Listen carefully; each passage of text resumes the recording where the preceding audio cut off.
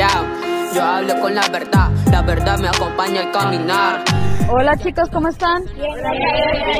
¿Cómo se sintieron en el ejercicio de escribir una verdad que los haya liberado o encontrarse con ustedes mismos? Sí, ¿por qué se sentían raro? Libertad. Libertad.